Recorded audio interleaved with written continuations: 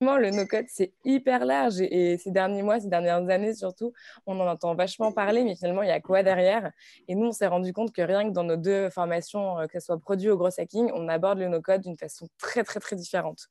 Euh, donc, le no-code, c'est tous les outils qui, permettent aux personnes qui ne savent pas euh, développer d'aller plus loin et en fait de faire d'énormes choses.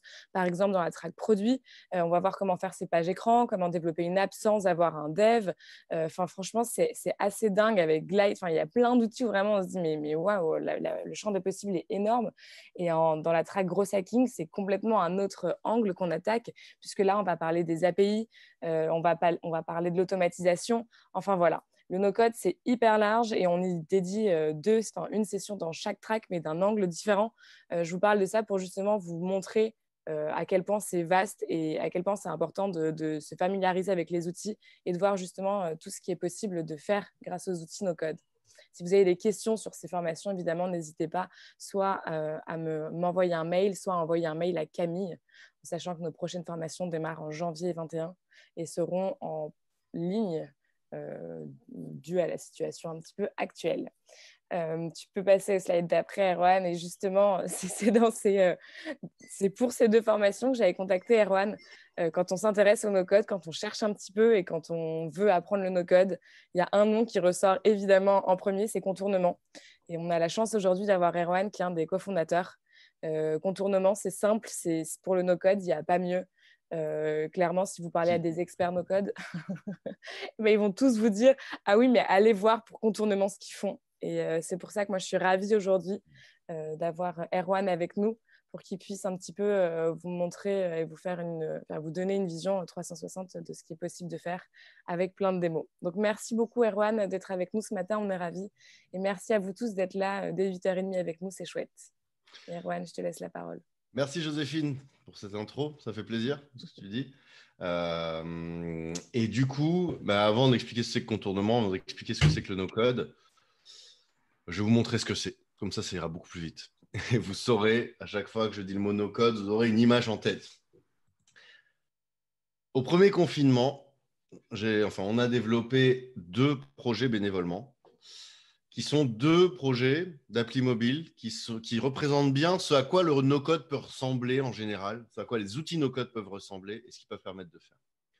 Le premier, c'est Banlieue Santé, qui a une action incroyable euh, dans, les, dans les zones de relégation, dans les quartiers prioritaires, les, les, les, camps de migrants et tout ça, euh, pour euh, ben, leur donner accès à la santé. Et là, pour le premier confinement, le président que je connais m'a dit qu'il faisait des vidéos traduites par des professionnels de santé de différentes langues, différentes nationalités, pour que les personnes qui ne parlaient pas français puissent comprendre les consignes euh, qu'il y avait face, enfin, aux actions sanitaires, bonnes pratiques face au virus. Du coup, il me disait, ouais, sur YouTube, c'est un peu galère, les gens s'y retrouvent pas forcément, ils savent pas forcément lire et écrire en plus. Euh, ce serait bien qu'on ait une appli mobile qui centralise ça. Sur l'appli que je leur ai produite, il y a déjà une première page où directement les gens accèdent via un drapeau aux différentes vidéos. Et par ailleurs, il livre des colis repas à des personnes qui euh, sont fragiles dans des foyers de migrants ou dans des, les quartiers populaires.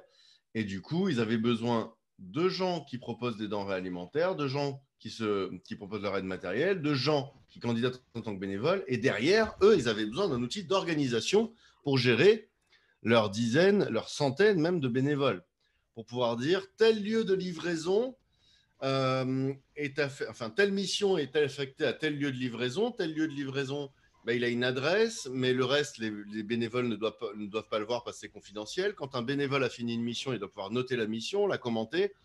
Euh, il peut y avoir un classement là-dedans. Bref, un véritable outil d'organisation, de coordination. Donc là, je vous montre que le formulaire d'inscription, parce que le reste, il y a des données confidentielles. En tout cas, tout ce que vous avez à retenir là-dedans, c'est que la partie application mobile, je l'ai faite avec un outil no-code qui s'appelle Glide, comme mentionné Joséphine, et dont on reparlera juste après. Donc la partie euh, accessible sur le téléphone, c'est fait avec Glide. Vous pouvez aller sur franceducoeur.org, vous verrez euh, ce à quoi ça ressemble. Il y a vraiment un look and feel d'appli mobile. Hein. Et toute la partie organisation formulaire, ça c'est fait avec Airtable, un outil fabuleux qui permet de faire des bases de données sans être développeur ou développeuse. On y reviendra aussi. La V1 de l'appli, je l'ai faite en moins d'une journée. je l'ai fait en moins d'une journée et je l'ai fait évoluer au fur et à mesure des besoins et des retours de mon santé pendant deux semaines, sachant que j'ai passé beaucoup de temps aussi sur les aider à faire les textes, les, trouver les bonnes images, etc.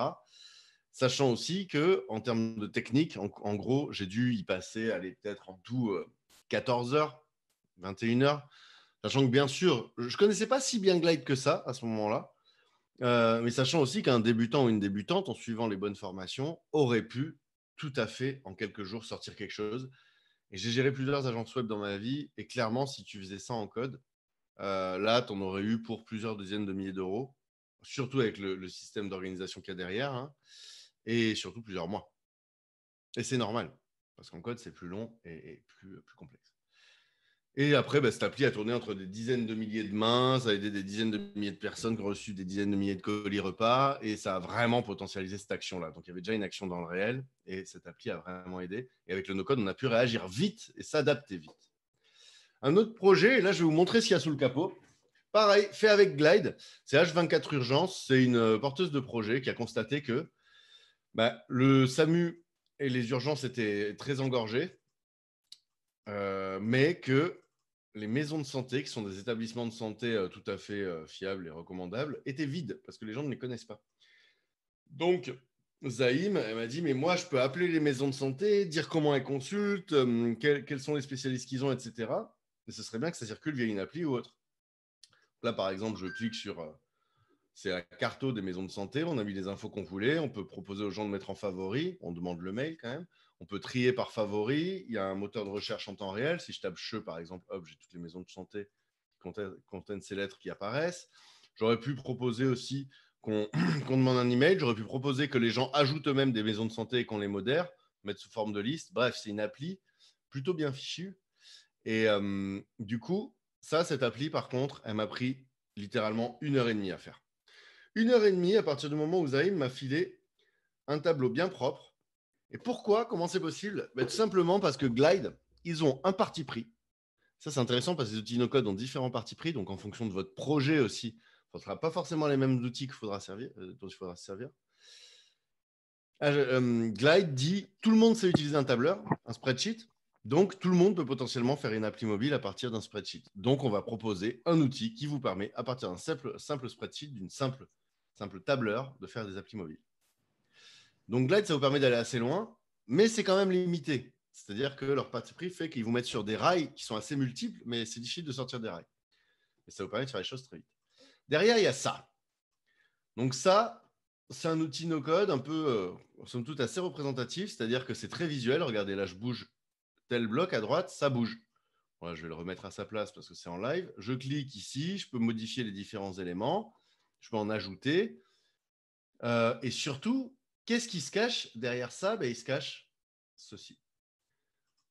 Donc un tableur bien propre. Où a rempli les noms des établissements, les adresses, euh, les coordonnées géographiques, euh, les, conditions de consultation, le lien vers le site, le lien vers les images. Et une fois que j'ai mis ça dans Glide, automatiquement, il m'a généré quelque chose qui ressemblait à ça. J'ai quand même eu un petit peu de boulot dessus, mais, mais voilà, il essaie de comprendre ce qu'il y a dans le tableau. En gros, franchement, euh, en une heure et demie, Zaïm pouvait envoyer ça à toutes les maisons de santé. Et l'intérêt, c'est ça, c'est d'envoyer le produit. C'est pas de passer des heures et des années sur la technique, c'est que de délivrer la valeur aux utilisateurs et aux utilisatrices pour voir s'ils en veulent aussi de votre produit. On y reviendra. Et puis un dernier, un artisan breton que j'ai aidé, qui a inventé le masque. En fait, c'est une, euh, séparation entre euh, chauffeurs et passagers pour, éviter les contaminations qui a eu euh, bah, besoin rapidement de faire un site e-commerce. Euh, ça lui a valu de passer dans la presse, comme vous l'avez vu juste au-dessus. Et en gros, ce site e-commerce, je l'ai fait en une demi-journée, sachant que j'ai passé un petit peu de temps sur les textes aussi. Donc là, je vous ai montré une appli mobile, mais sachez qu'on peut faire des sites e-commerce aussi, des sites web avancés et tout type d'applications. Et puis, du coup, le fait d'avoir son appli et de pouvoir la faire euh, son site et de le faire circuler, ça lui a valu euh, pas mal de commandes rapidement, tandis que le buzz était là. Maintenant que vous voyez ce que sont les outils no-code, c'est parti. Déjà, je vais commencer par me présenter. Donc, euh, je représente contournement. Contournement, on forme les gens à contourner les obstacles techniques, à contourner les contraintes techniques qui les séparent de la réalisation de leur projet numérique. Donc, on propose des formations en ligne sur les outils no-code pour faire ses premières armes en quelques jours. On forme sur des outils qui sont accessibles en quelques jours, parce que les outils, vous le verrez, qui prennent plusieurs semaines. Et on propose des conseils et des ressources gratuites aussi euh, pour pouvoir faire ses, premiers pas en quelques heures. Et ça, vous aurez tous les liens dans un mail qui suit euh, cette présentation et vous aurez aussi euh, du coup la, présentation elle-même. Donc tous les liens que vous verrez, vous y aurez accès. Très rapidement, Alexis et moi-même, les deux cofondateurs de Contournement, on a pour point commun d'avoir monté plusieurs projets dans nos vies et surtout de tous les deux venir du code. par exemple, en 2012, j'ai eu l'idée d'un projet qui s'appelle Simplon.co, euh, que j'ai cofondé en 2013 et que j'ai décidé de quitter en 2017. Et Simplon.co, c'est devenu le plus gros réseau au monde d'écoles de code informatique gratuites et solidaires pour des personnes sans emploi, des personnes réfugiées et autres personnes éloignées de l'emploi, ou sans diplôme ou autre. Et parfois, on me dit, mais tu as retourné ta veste, en fait, tu faisais du, code, et maintenant tu fais du no-code. Donc, c'est parfois des journalistes, des gens en conférence me disent ça. Et en fait, ce que je réponds, c'est que non, la vision commune, c'est qu'en 2012, déjà, il y avait cette volonté de démocratiser les moyens de produire des sites, des applis et tout ça. À l'époque, c'était avec certaines technologies qu'on le faisait, certains langages de programmation comme Ruby, euh, comme Ruby on Rails, des choses comme ça. Et en fait, euh, déjà à l'époque, je m'intéressais au no-code, mais ce n'était pas tout à fait fiable, pas tout à fait riche. Et, aujourd'hui, comme vous allez le voir, depuis 2-3 ans, enfin les outils no-code sont prêts. Et c'est là qu'avec Alexis, on s'est dit, allez, on y va. Et Alexis était cofondateur de Simplon Prod, donc l'agence de prod de Simplon. Donc ça aussi, dans l'univers du no-code, ça fait qu'on comprend bien ce qui se passe à certains égards parce qu'on vient de la formation au code, de la production au code. On a, on a géré des agences web et ça c'est important, et du conseil. Je vais commencer par vous faire un petit point de contexte en intro, pas juste vous faire une liste à l'après-vert des outils. Vous présenter quelques cas de projets qu'on réussit en no-code, pour que ça vous inspire. Un panorama très large des outils, et vous aurez tout, encore une fois, entre les mains avec la présentation, puis questions-réponses. J'aimerais bien arrêter de parler à entre 30 et 40, c'est super. Euh, comme ça, on pourra avoir pas mal de questions-réponses. Attendez. Et évidemment, entre-temps, si vous avez des questions, vous pouvez les écrire sur le chat. Et comme le dit Erwan, quand il aura fini sa présentation, on prendra des questions euh, à l'oral. C'est ça. Donc, ouais. Attends, qu'est-ce que j'ai dit 30 et 40 Non, plutôt vers, euh, autour de 9, euh, vers 9h, 9h05, 9h10 max. Et n'hésitez pas, comme disait Joséphine, à poser vos questions. Pourquoi le no-code et pourquoi l'approche de contournement? Vous allez voir, il y a un peu de méthode. Un constat, certaines études disent qu'il y a 0,3% des gens dans le monde qui savent coder, tout type de langage confondu, tout niveau confondu. Enfin, bref, ça fait très peu alors même qu'aujourd'hui, il y a plein de gens qui ont des idées de projets numériques ou qui ont besoin d'un bras armé numérique pour leur projet, que ce soit euh, en tant qu'entrepreneur, qu'entrepreneuse, qu'association, que grande entreprise, bref. Et nous, on se dit que le no-code, c'est une bonne solution pour euh, enlever un peu ces barrières techniques. Euh, déjà, le no-code, qu'est-ce que c'est? En soi, on pourrait dire que les premiers tableurs dans les années 70, c'était du no-code parce qu'on pouvait écrire des calculs dans des tableaux sans écrire de code informatique pour communiquer avec la machine. Certes, mais le no-code, en fait, c'est un mot qui apparaît tel quel depuis à peu près trois ans. Regardez en haut à gauche, là, c'est la courbe des recherches Google sur le terme no-code. On voit que ça était quasi inexistant avant, euh, avant 2016, et que là, aujourd'hui, ça monte en flèche. Les outils no-code, ce sont ces outils, ça c'est la deuxième ligne, qui fonctionnent 100% en ligne ça, selon l'écosystème du no-code, c'est quand même un point compliqué, un point compliqué, un point commun à tous les outils no-code, c'est que vous n'avez rien à installer, vous n'avez rien à héberger, tout est géré pour vous dans le cloud. Et ça, pour que ce soit accessible à des débutants et que ça aille vite, c'est important. Donc, vous voyez les petits boutons connexion, commencer, publier. Les outils no-code, souvent, vous avez juste à cliquer sur publier pour envoyer le lien. Vous n'avez pas à aller louer un serveur chez OVH, je ne sais pas quoi. Tout est fait pour vous. Et troisième point commun, ben, c'est que tout est visuel ou du langage humain, on va dire, et vous n'avez pas à écrire de code informatique pour aboutir un projet. Et en général, les outils no-code, vous avez juste à vous créer un compte et c'est parti, vous pouvez bosser. Rien à installer, encore une fois, sur votre ordi ou à, héberger. Et en gros, pourquoi le code aujourd'hui, mais pas avant? Ben, Nous, en tout cas, chez Contournement, en 2018, il y a quatre constats qui nous ont fait nous dire, ça y est, le no-code, c'est prêt. Déjà, premièrement, on a constaté que les outils étaient enfin stables, fiables, riches, accessibles. En 2015, il y avait déjà des choses, mais ça buguait, c'était pas aussi riche qu'aujourd'hui, etc. Là, en 2018, on voit qu'il y a plein de nouveaux outils en plus. On voit surtout que ça y est, la promesse est tenue. que c'est à la fois puissant et accessible, ces outils. Deuxième constat, on voit qu'il y a des startups dans le monde qui commencent à réussir à se lancer, des plateformes numériques, des projets numériques qui se lancent sans avoir de développeurs dans l'équipe ou de développeuses. Donc on se dit, tiens, il y a des gens qui réussissent en se basant sur les outils no-code. Donc la promesse doit être tenue logiquement.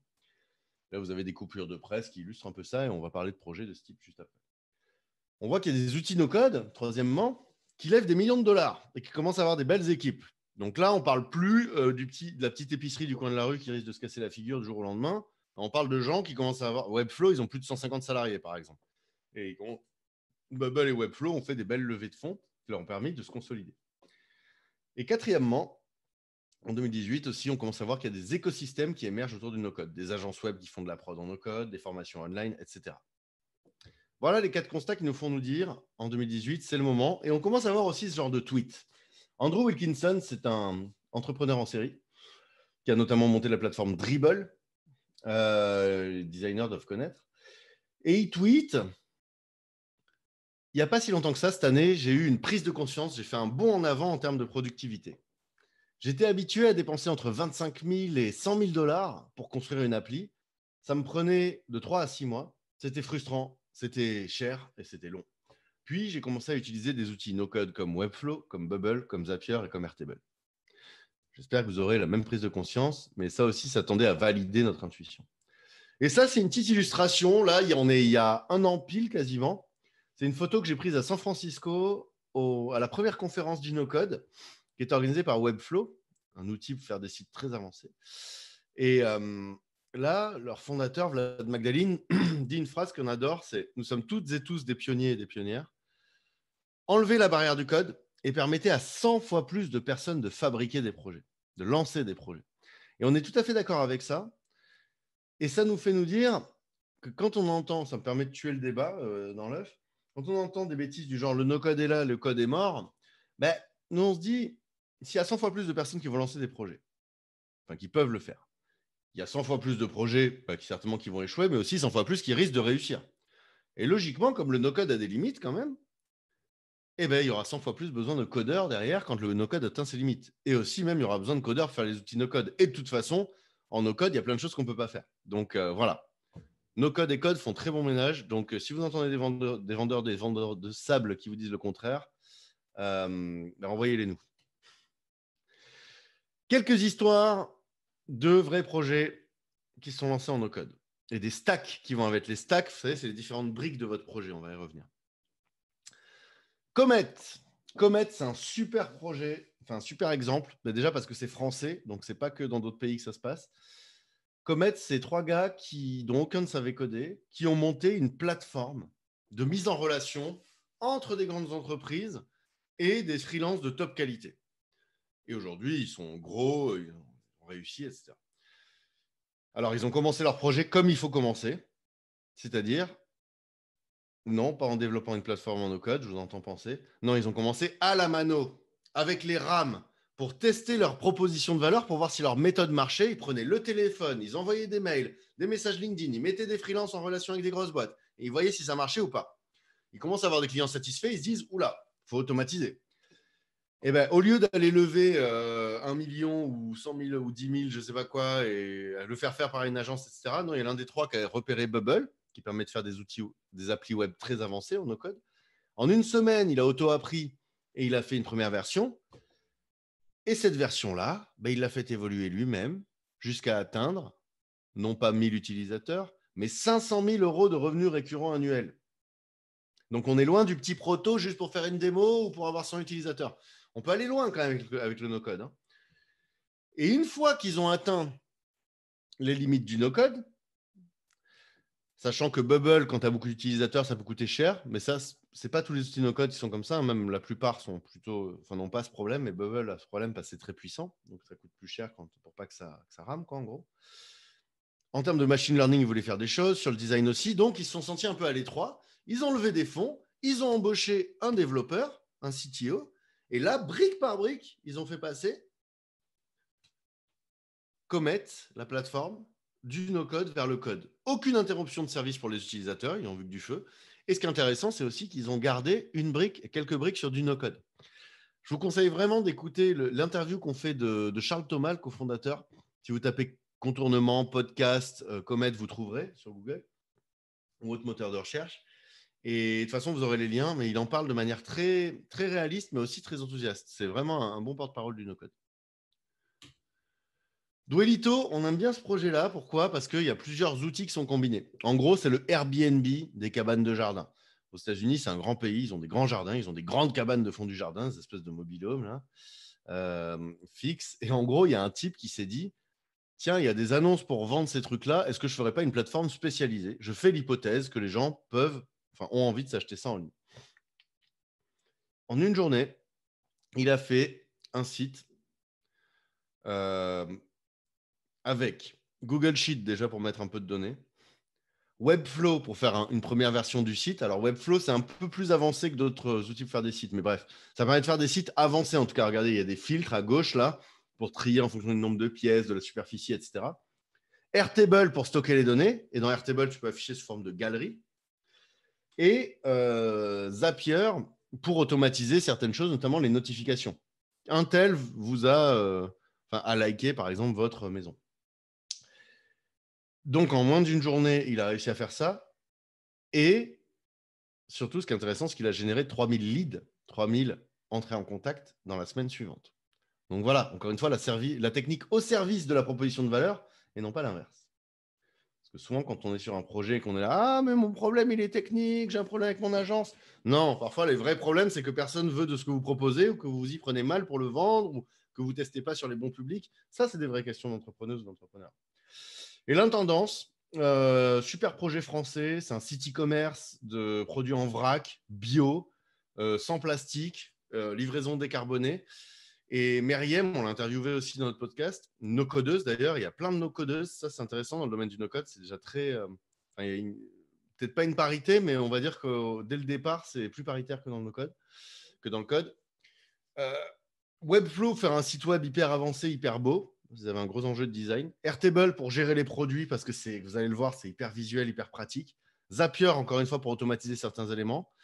Et Python, parce qu'il faisait travailler des personnes en situation de handicap et il fallait qu'ils fassent des bons de commande vraiment formalisés comme ils le voulaient. Il y avait une question de TVA aussi. Donc le code peut se brancher sur du no-code. Je vous recommande aussi l'interview de Myriam qui est très intéressante sur notre podcast. Quelle méthodologie dans tout ça? Bah, je vous confier un secret. je ne vais même pas vous montrer ça. D'abord, je vous parle. Je vous confie un secret, c'est qu'en no-code, on peut tout à fait faire des projets qui ne voient jamais le jour, qui sont trop ambitieux, où on dépasse les budgets, les délais et tout, comme avec du code. C'est pour ça que nous, on pense que pour lancer un projet, et même pour faire ses propres outils de productivité, parce que le no-code, ça peut servir à ça aussi, automatiser euh, plein de choses, mieux s'organiser, eh ben, il faut adopter l'approche MVP. Je ne vais pas vous refaire en long en large ce que c'est que le MVP, on entend souvent, mais le minimum viable product, le produit minimum viable, c'est un produit qui est minimum et qui est viable. C'est-à-dire, c'est la première brique de votre projet qui va vous permettre de tester auprès des utilisateurs si ça vaut le coup de continuer et comment le faire évoluer. Par exemple, je vais avoir l'idée d'une voiture. Bah, au lieu d'aller lever 100 euh, millions d'euros et puis de faire une plateforme au bout d'un an et puis peut-être que j'aurai une voiture qui plaira dans deux ans, eh ben, je vais commencer par faire un skateboard en une journée, moi-même en no-code. Hop, les gens l'utilisent, ils se cassent un peu la figure, mais ils sont contents. Du coup, comme ils se cassent la figure, je tire des conclusions. À la base, je comptais mettre un moteur au cul du skateboard. Ben non, là, je me dis, je vais plutôt mettre un guidon. Hop, en no-code, en une semaine, je mets un guidon, je fais une trottinette. Les gens sont contents sur la trottinette. Mais je me dis, là, ce serait mieux quand même si on pouvait euh, améliorer comme ci, comme ça.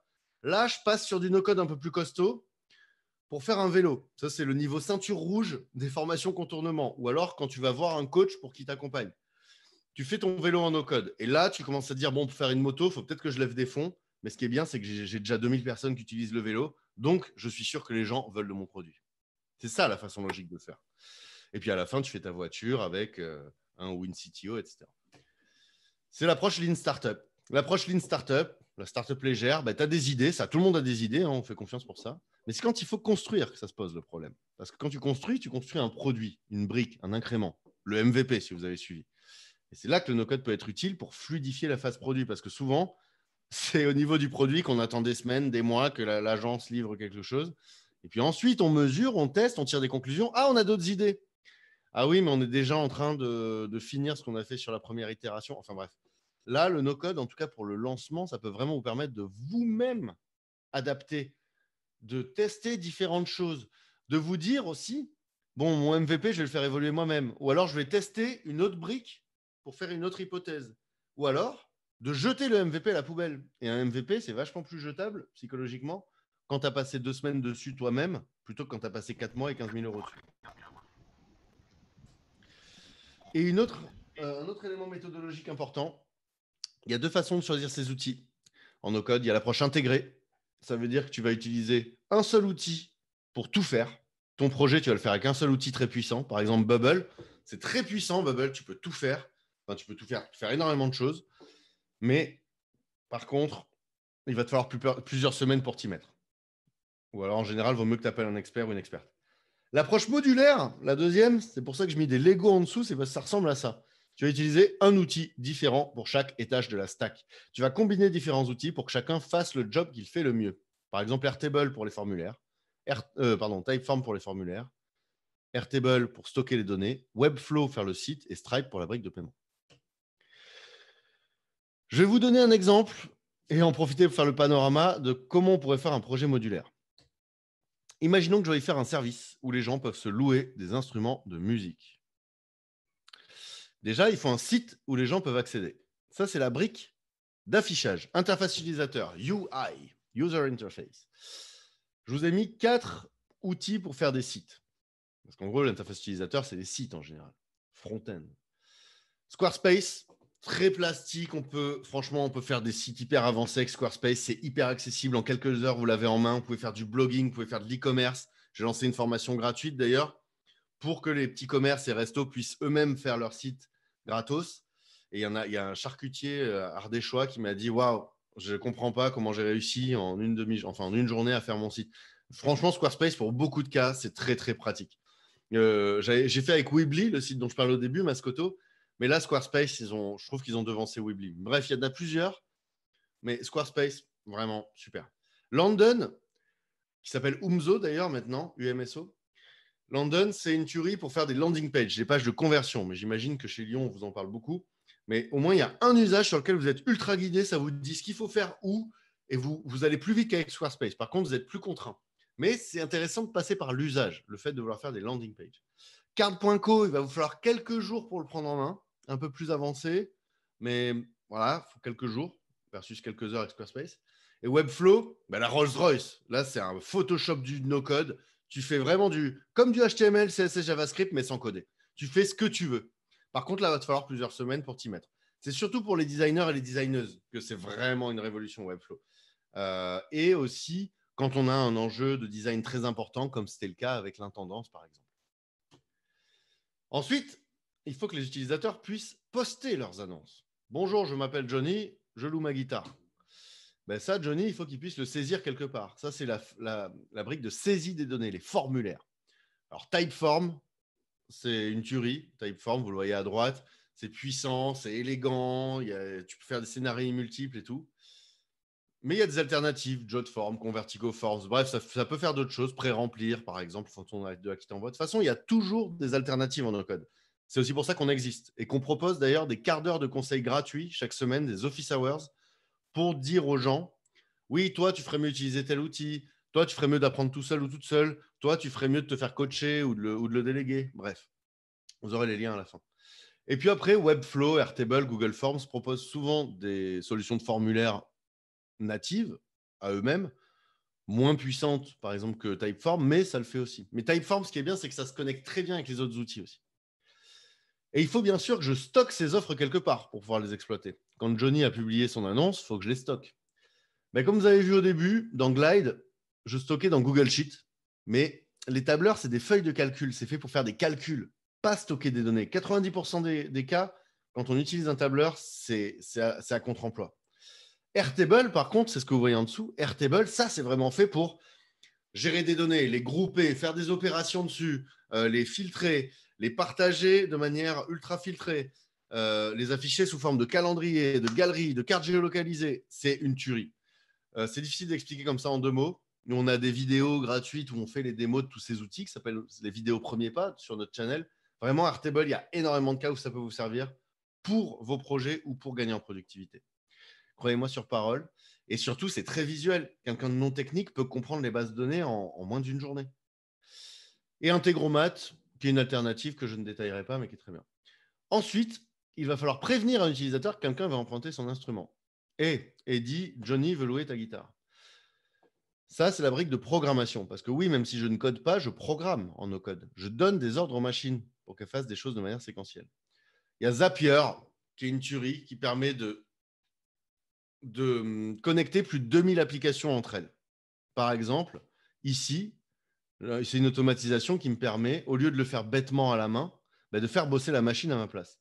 Quand il y a euh, une nouvelle entrée dans mon formulaire, alors créer un nouveau contact dans mon outil de ma base client et inscrire ce contact dans ma newsletter et lui appliquer tel mot-clé et me notifier euh, par email qu'il y a cette personne. Et on pourrait dire et euh, créer un tweet avec euh, Lyon en mention et m'ajouter ça dans un Google Sheet. On peut vraiment faire des automatisations de. Et Integromat et Parabola aussi qui, qui permettent de faire des choses plus techniques mais très fortes. On y est presque. Dernière ligne droite. Et pour valider la transaction, l'utilisateur doit payer sa location. Ben là, il y a plein de petites briques externes que vous pouvez brancher à vos outils, par exemple Stripe, la référence pour le paiement. On peut faire des choses ceinture jaune ou ceinture noire. On peut aller très loin avec Stripe. Pas besoin de réinventer la roue pour le paiement. Ça s'interface très bien avec tous les outils. One Signal pour les notifications push, vous savez, les petites notifications là qui apparaissent en haut de votre téléphone. Euh, vous pouvez en déclencher euh, à partir de certains outils euh, assez simplement. MailerLite, MailChimp, SendGrid pour les emails transactionnels. Vous savez, ces emails qui sont très importants dans les applis, souvent qui viennent vous dire vous avez trois personnes qui vous ont demandé en ami cette semaine, ou alors vous avez un panier abandonné, voulez-vous le, conclure, etc. Et Twilio, pour faire des notifs SMS. Vous allez avoir la presse, mais sachez, ah oui, pour l'approche intégrée, pour faire des applis web et responsives, Bubble, c'est la référence. Très puissant, mais il vous faudra quand même quelques semaines pour vous y mettre à droite, vous voyez à quoi ça ressemble. Il y a des alternatives que je vous cite ici, notamment des alternatives françaises, mais qui sont quand même devancées par Bubble. Mais ces alternatives avancent chaque jour. Il hein. faut, se renseigner sur le no-code game. Et pour le mobile, Glide, que vous avez vu au début, c'est très accessible. À l'autre opposé, donc il y a Bubble qui permet de faire du mobile. Même si ce n'est pas fait pour ça, on peut aller très loin. C'est complexe. Et entre les deux, il y a Adalo. Adalo, vous voyez à droite, qui euh, bah, vous permet de manière très accessible de faire des applis beaucoup plus puissantes, publiables sur la Store et tout. C'est le bon compromis entre les deux. Nous, on a une formation de trois jours là-dessus. On voit des gens qui n'avaient pas de niveau technique qui arrivent à faire des applis euh, bien. Tu es moins limité que Glide et tu peux vraiment faire des vraies applis mobiles. Et ils vont vers le desktop petit à petit. C'est intéressant à savoir. Ils vont vers les applis euh, web, bureau. Et puis aussi, vous avez d'autres alternatives ici. Donc, vous allez avoir la presse, comme je disais, et sachez qu'en no code, on peut faire de manière avancée ou prototypale, des newsletters, notamment des newsletters avancés avec euh, paiement, transformer une base de données en site web, comme Glide, mais là pour faire des sites, de l'e-commerce, des API, se brancher sur d'autres services en API ou exposer soi-même une API pour que les gens se branchent sur votre service, du scrapping pour automatiquement récupérer des données au lieu de copier-coller bêtement, des chatbots, agents de conversation instantanée automatique, des assistants vocaux OK Google, est-ce que je peux te no-coder? Oui, vous le pouvez avec VoiceFlow. 3D, réalité virtuelle, réalité augmentée. On peut faire des trucs de dingue avec ça en no-code, notamment Minsar, qui sont français et qui sont très forts. Jeux vidéo, Serious Game, jeux vidéo 3D, on peut faire de plus en plus de choses de manière accessible. Intelligence artificielle et machine learning, oui, on peut prototyper des choses comme ça sans coder. Blockchain, objet connecté. Tout ça, vous pouvez le trouver sur notre petite planète, contournement.io. Donc, euh, il y a tous nos contenus gratuits, nos podcasts et tout ça. Contournement.online, ce sont nos formations en ligne, en e-learning. Là, vous avez les liens vers notre channel YouTube où il y a plein de choses gratuites, notre podcast, comme je disais, toutes nos ressources diverses et variées, et la communauté No Code France, qui était la communauté contournement, qui est devenue No Code France. Il y a plus de 2500 personnes, novices, experts, il y a de tout. N'hésitez pas à y aller, ça vous aidera à entrer dans le monde du No Code. Et sachez que les fameux quarts d'heure de conseils gratuits qu'on propose, ben là, vous aurez le lien. On appelle les office hours. Donc voilà, euh, c'est directement dans Calendly que ça se réserve. Bon. 9h09. Il nous reste 20 minutes pour les échanges. C'est à peu près ce qu'on avait prévu. Trop chouette. Merci beaucoup, Erwan. Merci aussi pour toutes les démos. C'est trop cool euh, dès le début de voir concrètement des projets euh, pour lesquels le no-code a été utilisé. Trop chouette. Euh, je vais démarrer déjà les questions avec la question de Mourad qui demande donc dans le contexte d'une entreprise corporate, est-ce que le no-code est viable? Est-ce que tu as des exemples de grandes entreprises qui se servent du no-code? Très intéressant. Mais ça, c'est des débats à bâton rompu qu'on a avec les DSI, avec les, les pôles innovation, avec les, les pôles support aussi, hein, en communication, en en, administratif, comme vous l'aurez compris, notamment sur le côté productivité, il y a plein d'usages à faire. Alors, souvent, quand euh, le cas le plus simple, c'est quand on parle à l'innovation, en tout cas quand on ne parle pas à la DSI. Pourquoi? Euh, Parce que souvent la DSI a une posture un peu défensive, ce qui est logique, c'est leur métier. Il y a des gens qui sont ouverts à tester des choses, mais c'est vrai que souvent la DSI, ils ont affaire à des, des projets qui sont directement reliés à des données sensibles chez eux au cœur de l'infrastructure. Et là, ça peut poser problème, notamment, notamment parce que ces outils sont américains et que c'est pas tant le RGPD le problème, c'est le problème du Patriot Act. Avec le Patriot Act, ça veut dire théoriquement que la NSA ou autre autorité peut mettre son nez dans un peu ce qu'elle veut pour des raisons de sécurité antiterroriste. Donc, ça peut gêner dans le cas de données sensibles. Par contre, c'est hyper approprié pour des projets d'innovation, pour tester un MVP, pour tester une V1, où il y a des données pas trop sensibles. Trois exemples. Avec Prisma Media, maintenant on fait plus de prod, mais on en a fait. Par contre, si vous avez besoin de prod, on connaît des gens euh, qui le font. Hein, euh, aujourd'hui, on redirige. Euh, Prisma Media, on a fait un site e-commerce sur un produit qu'il lançait autour de femmes actuelles. Ce site e-commerce, il a fait des centaines de ventes, il a fait des, dizaines de milliers de visiteurs notamment euh, grâce à Webflow qui scale pour vous. Vous n'avez pas gérer de serveur rien. Et là, ça a été très bien. C'est-à-dire qu'ils sont encore sur Webflow. Hein. Ils ne veulent même pas passer sur autre chose. Ça leur va très bien. Euh, donc là, en l'occurrence, les juristes ont dit non, pas de problème. Au juridique, on n'a rien à dire. Euh, la technologie a l'air bien. GRDF, on a fait une appli pour eux de, de gestion des entrées-sorties à la cantine en situation de Covid pour pas qu'il y ait trop de gens. On l'a sorti en quelques jours. Ça s'est très bien passé. Et les gens étaient très contents. Donc voilà, pareil, pas trop de données sensibles. Et aussi, il y a l'exemple sur Airtable, il y a une grosse boîte de production vidéo qu'on a accompagnée pour que toutes leurs équipes, au lieu de s'envoyer des WhatsApp, des tableaux Excel, des Google Sheets, des WeTransfer, ils ont tout foutu dans Airtable. Ils se sont fait une espèce d'outil de gestion de projet, de méca outil de gestion de projet visuel, cool, sur mesure. Et il y a quelques personnes qui savent continuer à le faire sur mesure, pas juste l'utiliser, mais le, designer.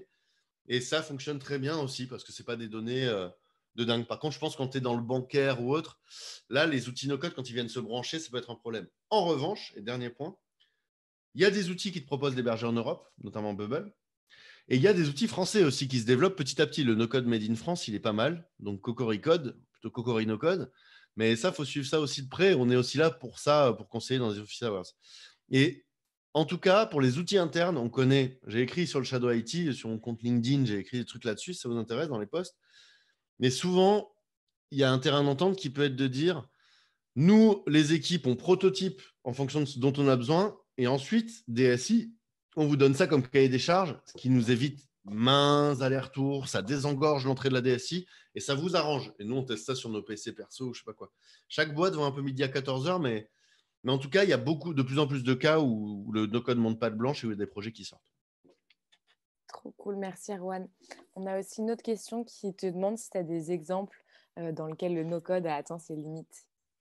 Alors, Comet, je trouve c'est un bon exemple parce que hum, on dit en termes de coût, Bubble, comme c'est très puissant, mais pour que ce soit performant, pour que ça s'affiche vite, les pages, ils, ils, gèrent des serveurs pour vous, donc ça peut coûter plusieurs centaines, voire plusieurs milliers d'euros par mois. Sachant que normalement, le no-code, c'est plutôt 10, 20, 30, 40, 50 euros par mois. Hein. On peut aller loin déjà avec un budget de 50 par mois. Le design, ils avaient des limites. Le, donc, et aussi parce qu'ils voulaient faire de l'algorithmie. L'algorithmie, c'est pas très bon pour ça, le no-code. L'exemple que je citais pour Prisma Media, par exemple, on a fait tout l'e-commerce et l'interface sur Webflow parce qu'ils avaient besoin ensuite, eux, d'itérer rapidement. Et Webflow, c'est super pour ça. Ils avaient un gros enjeu de design. Mais la partie génération d'images. Génération, en fait, c'était pour générer des posters de cartes du ciel astrologiques en fonction de ton lieu de naissance, ta date de naissance, etc. Ben ça, la génération d'images, le no-code, ce n'était pas possible. Donc là, on a fait un peu de Python. On a fait 5% du projet en code et le reste en no-code. On l'a branché. Donc, génération d'images, algorithmie. Euh, parfois, en fait, chaque outil no-code peut avoir ses propres limites. Par exemple, Glide, faire du design. Glide, tu es hyper contraint en design. Là où Webflow, tu fais ce que tu veux. Mais Webflow, tu n'as pas de fonctionnalité de type création de compte et tout. Par contre, tu as des outils qui se branchent sur Webflow pour faire ça. Donc, pour synthétiser, on va dire que tout ce qui implique de l'algorithmie, la génération d'images et des choses comme ça, c'est pas très bon pour ça, le no-code. Par contre, 80% de ce qu'on fait dans les applis euh, actuelles, c'est-à-dire je me crée un compte, euh, les gens peuvent se connecter, peuvent interagir, peuvent s'envoyer des choses, peuvent se géolocaliser. Ça, globalement, ça le fait. Et en général, ou alors, bah, tu vas pouvoir tout faire dans un seul outil comme Bubble, ou alors tu vas pouvoir euh, connecter des outils entre eux pour que ça le fasse. Et j'ai pas forcément d'autres exemples qui me viennent en tête. parfois, pour faire des jeux, il peut y avoir des limites aussi parce que Parfois, il y a des trucs, par exemple, les outils que je vous ai montrés pour faire des jeux, il y en a qui se connectent très bien avec d'autres outils no-code, d'autres non. Donc, euh, voilà. Trop cool. Merci beaucoup, Erwan. Ce que je vous propose maintenant pour les questions, c'est que vous puissiez allumer directement vos micros et parler à Erwan. Ça va toujours être plus sympa pour Erwan de vous parler directement. Euh, et je sais que Noëlla, tu avais une question tu peux allumer ton micro. évidemment, ceux qui ne peuvent pas allumer leur micro, je reste euh, la voix de vos questions, évidemment. Il nous reste 15 minutes, donc tâchons d'être concis et je tâcherai de l'être. Exactement. Est-ce que je peux juste ajouter euh, euh, sur ce que j'ai posé comme question sur la limite de non-code Vas-y, vas-y, Yoé. Oui, euh, bah, justement, j'ai un peu l'impression que aucun outil no-code est parfait, enfin, si j'ai bien compris, et du coup, il faut essayer euh, les euh, si, si, si ce compatibles, s'ils sont compatibles entre eux. c'est, pour qu'ils soient fluides, c'est ça. C'est un peu du bricolage, mais et on essaye qu'ils soient le plus fluide possible. Bah, ça dépend en fait entre perfection et bricolage, c'est difficile. en fait, ça dépend vraiment de ton projet. Par exemple, mhm. euh, il y a des gens avec Glide, ça leur suffira largement et ils n'auront pas besoin de passer sur autre chose. Et c'est pas du bricolage, c'est juste c'est un bon outil pour faire certains trucs. D'autres, ils vont avoir besoin de Bubble pour faire une appli très avancée, l'équivalent de Airbnb par exemple, ou de mhm. Twitter. Et, voilà, ça pourra leur suffire. Euh, mais en gros, ça dépend de ton projet, ça dépend du temps que tu as à y passer, ça dépend de comment tu le lances. Si tu as une approche Lean Startup, c'est pas pareil que si tu dis, mm. moi, je veux déjà une V1 très complète. Donc, oui, euh, je comprends. Mm. C'est assez difficile. Aujourd'hui, on nous demande parfois, il n'y a pas, pas un logiciel qui permette de te faire un diagnostic euh, sur quel, quel outil no code choisir? Et non, aujourd'hui, nous, ce qu'on propose, c'est les mm. Office Hours, donc les carrières de conseil, et on a fait une formation gratuite d'une demi-journée, comment choisir son outil no code. Et même ça, c'est imparfait, mais au moins, ça donne des repères. C'est vraiment du cas par cas. Mais vraiment, même pour un même projet, parfois, tu as trois scénarios possibles. Tu vois mhm. c'est pour ça, quand même, qu'il vaut mieux consulter un peu euh, des experts, même euh, gratos, hein, comme ce qu'on propose. Ça permet de partir du bon pied. Et aussi, si on veut faire soi-même, de ne pas être trop ambitieux ou ambitieuse, auquel cas on risque l'abandon. C'est aussi pour ça qu'on fait des formations. Hein. Parce que même si c'est quelques jours, nous on dit quelques jours en, en étant formé ou accompagné. Si tu te lances tout seul ou toute seule dans la documentation, ça plutôt te prendre une semaine ou deux. Quoi. D'accord, très bien. Donc il y a la façon de faire et les outils que tu choisis. Et je, peux répondre. Trop cool, merci beaucoup. du coup, Noëlla, si tu veux poser ta question et allumer ton micro. Euh, oui, bien sûr. Bonjour. Euh, en fait, ma question, c'était euh, en termes de référencement naturel, comment ça se passe avec ces outils? Donc, je parle bien sûr de tout ce qui est Squarespace et tout ça. Comment ça se passe? Alors, c'est une bonne question. Euh, pour tout ce qui est générateur de sites, ce que je vous ai montré ici, normalement, en termes de référencement, il n'y a pas de problème. C'est-à-dire que ces codes, eux, ils génèrent du code sain pour vous, du code euh, propre, ce qui plaît au moteur de recherche. Et vous pouvez renseigner les niveaux de titres, euh, la description, les balises images, etc. donc, si vous faites bien le taf, normalement, il n'y a pas de problème si vous structurez bien votre site. En revanche, il y a des outils no-code qui ne sont pas faits pour faire du contenu. Par exemple, Glide, S'ils arrivent à faire ce truc incroyable, c'est parce qu'ils hackent eux. Donc le code généré par Glide n'est pas du tout propre. Mais l'enjeu de Glide, c'est pas de faire du référencement, par exemple. Donc euh, c'est plutôt pour du Webflow, du Squarespace, choses comme ça. Là, c'est important, en effet, le référencement. Et à ce jour, on ne voit pas de problème. Hein. Franchement, ils sont dans les standards. Par contre, il y a des outils, par exemple Wix. Je ne sais pas s'ils ont résolu ce problème en tant que oui, en tant que non, mais Wix, déjà, on ne le recommande pas parce que Ça fonctionne pas comme le web. Vous pouvez faire un peu ce que vous voulez, c'est vite le bordel. C'est pas structuré comme le web, alors que les outils qu'on vous montre là, c'est structuré avec le box model, le HTML, je vous passe les détails. Et Wix, par exemple, ben, paraît-il qu'ils ont des problèmes de référencement parce que justement le code qu'ils génèrent est un peu, euh, un peu brouillon. Donc, parfois, il faut se poser la question. Mais là, Webflow, Squarespace, normalement, tu peux les fermés. Merci. Trop cool, merci beaucoup. On a encore une question de Mélina, si tu veux allumer ton micro.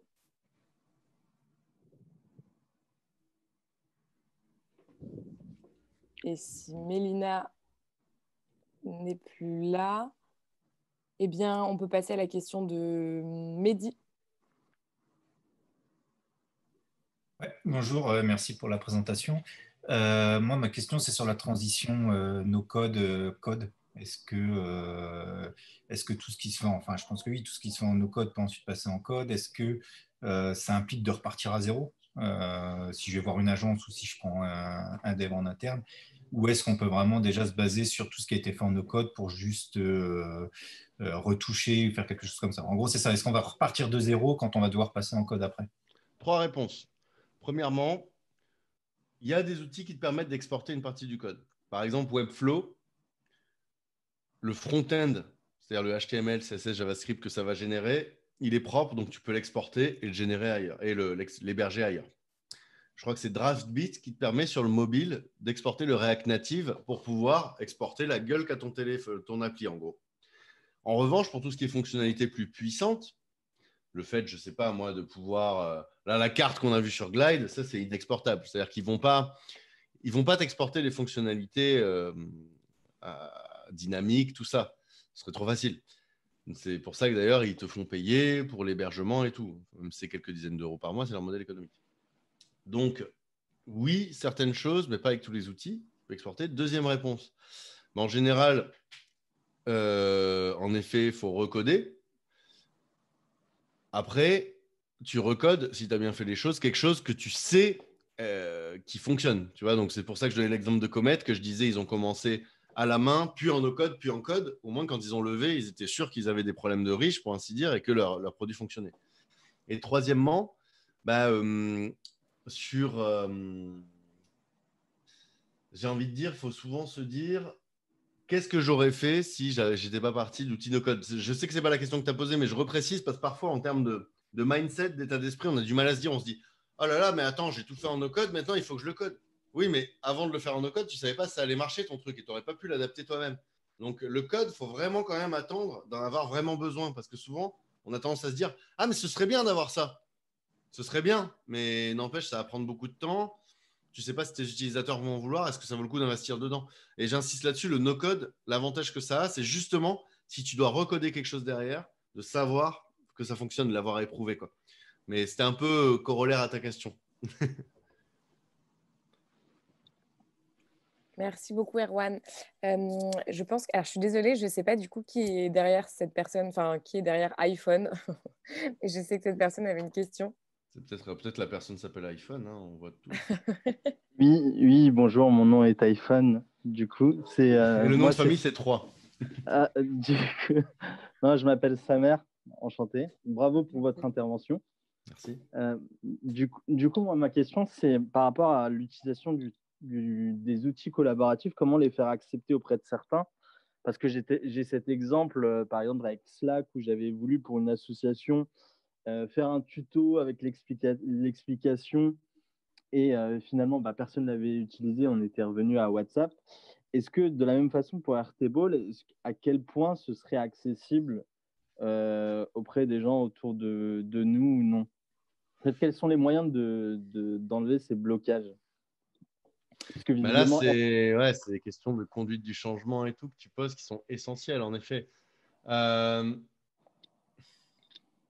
Bah, nous, sur la question de l'évangélisation, de montrer que ça ne mord pas, etc., euh, bah, il y a plusieurs façons de faire. Nous, je sais qu'on est très sollicité par des grosses boîtes ou des startups ou autres pour justement faire des, des webinaires euh, bah, un peu comme celui-ci ou des masterclass d'initiation déjà pour montrer ce que c'est. Parfois, ça peut emporter l'enthousiasme des gens. Euh, je pense que aussi parfois une petite formation d'initiation, ça peut servir à ça. On a une formation de 7 heures en ligne qui sert à justement mettre un peu les mains dedans parce que parfois les gens en pratiquant, ils font Ah, mais j'y arrive en fait. Ah, mais ça peut faire ça. Mmh. Et pour les plus, les plus euh, récalcitrants, récalcitrantes, j'ai envie de dire, bah, tu trouves un problème qu'ils ou elles ont au quotidien et tu fais un truc hyper simple qui le résout. C'est-à-dire, j'en sais rien, moi, si tu as besoin d'une boîte qui galère toujours pour. qui a 40 personnes dans l'équipe et qui galère pour, pour toujours trouver les mails, les machins, les questions d'annuaire, de trombi. Mmh. C'est un truc vieux comme le web. Quoi. Les gens sont là, ah, on va faire un trombi. Ils se retrouvent avec un devis à 15 000 euros et un truc qui sort au bout de 6 mois. Et avec des embrouilles dans la gestion de projet. Alors que là, avec Airtable ou Glide, par exemple, en 3 heures, c'est fait. Tu vois le plus long, c'est d'aller chercher la donnée auprès des gens. Donc déjà, de dire, regardez ce que j'ai fait. De Quand les gens le voient, ils se disent, tu as vraiment fait ça euh? Et bah ouais, si tu veux, je peux te montrer comment j'ai fait. Et tu peux même faire, euh, j'en sais rien, moi, un autre projet. Parfois, de passer par l'usage, de résoudre les douleurs qui sont les plus chiantes pour les gens, c'est l'une des meilleures manières de montrer que le no-code, euh, dans la vraie vie, ça peut servir à ça. Parce que quand tu arrives avec le biais technique, genre, waouh, c'est révolutionnaire, c'est génial, si les gens, ils n'ont pas un vrai usage, euh, tous ceux qui sont pas très, très euh, enfin, euh, ouverts à, à l'adoption de nouveaux usages, ils vont souvent dire, ouais, c'est bien, c'est un truc de geek, quoi. Génial, ouais, ça répond bien à ma question. Ok, bah oui, j'avais pas pensé à l'usage qui fait changer tout le monde en fait. Et aussi, regardez dans tout ce que j'ai montré, regardez les templates. En général, il y a des templates. Par exemple, Webflow, tu as des templates de sites que tu peux récupérer qui sont incroyables. Euh, Glide, tu as des templates en fonction des usages, annuaire, guide touristique, etc. Euh, Airtable, pareil, outil de gestion de projet, outil de gestion client. Donc ça, vous pouvez vous baser sur les choses existantes pour montrer euh, euh, ce qu'on peut faire. Par exemple, dans Airtable, il y a un outil, il y a un Airtable pour gérer sa recherche d'appartement. Il est trop bien fait, avec où tu fais bouger des cartes, où ça met tout en. en tu as la galerie, tu vois, où tu vois les appartes avec les différentes photos. Ça, franchement, ça aussi, ça peut être pas mal, je pense, de se baser sur des templates pour vous inspirer sur des problèmes que vous avez, comment vous pouvez les résoudre. Je me permets une question, si c'est possible, Joséphine. Vas-y, Samuel, vas-y. Euh, c'est euh, en fait à partir de si j'ai bien compris il y a le no code le code mais il y a la phase manuelle qu'on oublie aussi parfois euh, à partir de à partir de quel moment en fait on justement ce passage entre manuel et, et no code on doit l'envisager? J'ai envie de dire ah, c'est un peu comme quand tu optimises ta productivité et que tu te dis tiens ça je le fais bêtement à la main 20 fois par jour ben, je vais l'automatiser avec Zapier faut, à partir du moment où tu vois que tu fais quelque chose de manière répétitive, ça veut dire qu'il y, y a, un pattern qui commence à se. Enfin, une trame, une constante, un systématisme qui s'instaure et que tu devrais pouvoir l'automatiser. En fait, on parle d'automatisation. Hein.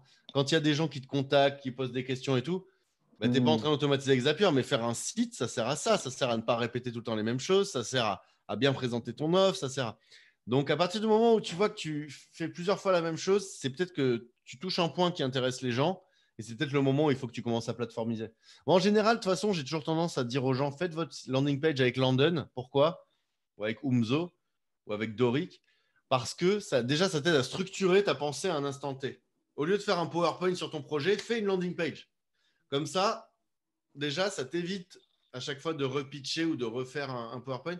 Je trouve que c'est un bon point d'entrée parce qu'à partir de là, tu vas commencer à voir les choses qui sont récurrentes, qui intéresse les gens tout le temps, euh, le type de formulaire qu'il faudrait faire pour pas euh, répondre toujours aux mêmes questions. Et un autre conseil, Vidéo Ask, c'est un super outil. En fait, c'est Typeform qui propose ça. C'est juste pour votre site. Ça met une vidéo de vous qui dit par exemple Salut, je m'appelle Erwan, comment je peux vous aider? Puis là, tu as des scénarios multiples. Je cherche un financement formation. Là, c'est une deuxième vidéo de toi. Les gens peuvent te répondre en vidéo. Allez sur le site de contournement.io. De toute façon, vous verrez à quoi ça ressemble. C'est très pratique. Ok, bah, super. En tout cas, bravo. Hein. C'était super intéressant.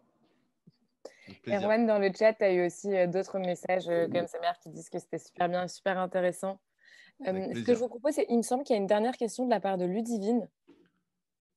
Mais je sais pas. Et si vous voulez, d'ailleurs, j'y pense. maintenant, on a une newsletter qui part une fois par semaine. Euh, où on donne des news du no-code, des ressources, tout ça. Si vous voulez y être abonné, n'hésitez pas à mettre votre email ici, là, dans le chat, et je, je vous abonnerai euh, après. Trop bien. Et j'en profite avant de laisser la parole à, Ludivine. Pardon. Euh, on va prendre une photo aussi après. Donc, si tout le monde peut allumer sa caméra, comme ça, une fois que Ludivine a, posé sa question et qu'Erwan a répondu, on peut prendre une photo tous ensemble. Voilà. Merci Ludivine, tu peux y aller.